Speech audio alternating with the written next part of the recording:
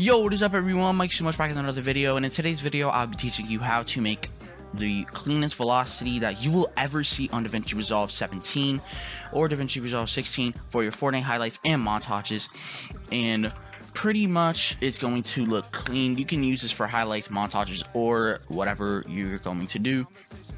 And if this did in fact help you, then make sure to hit the like button, subscribe, and turn on post notifications so you don't miss out on an upload. And without further ado, let's get into the video. So pretty much, I just have um, this clip, which isn't mine though, um, but it's just like this, and um, I'm using Kids on Molly, and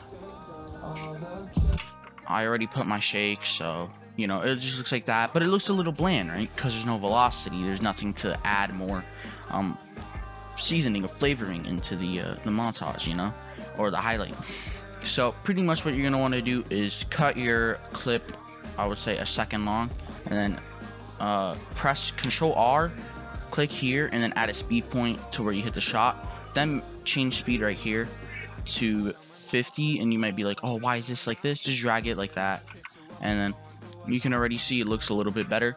And then now that you did that, you're gonna want to do 1, 2, 3, 4, 5, 6, 7, 8, 9, 10.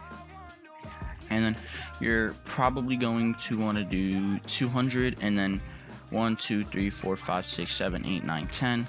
And then you're gonna do uh, 400 and then um, 1, 2, 3, 4, 5, 6, 7, 8, 9, 10. And then you're gonna want to do 50 for that, and then pretty much it's going to look like that.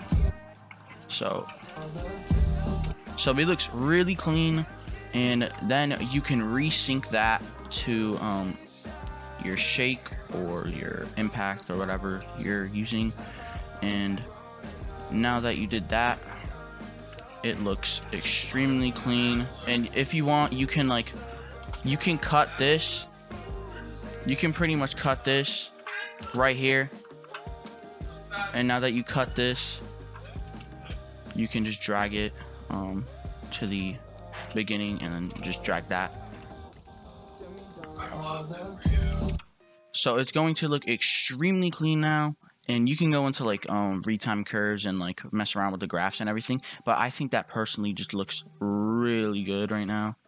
And it just adds a lot of just really nice um,